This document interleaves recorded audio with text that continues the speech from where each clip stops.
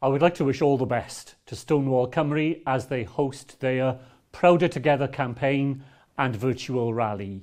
This fantastic event is a chance to celebrate the positive impact they've had on the lives of LGBTQ plus communities and individuals across Wales. As a government, we are determined to advance LGBTQ plus equality here in Wales. In the, fast, in the past few years alone, we have made remarkable progress.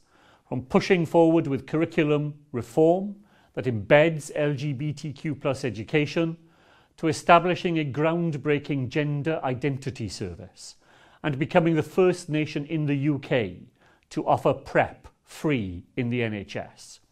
We also set up a bespoke LGBTQ plus venue grant during the pandemic.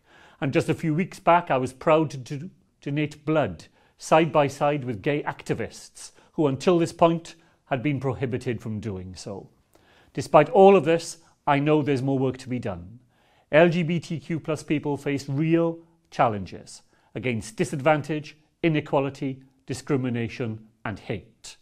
But by working together with the community and with organisations such as Stonewall, we will make a real difference for LGBTQ plus people.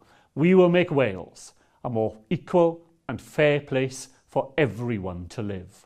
I encourage everyone to join in and show your support for our LGBTQ plus communities today by using the Prouder Together hashtag. Diolch yn fawr iawn.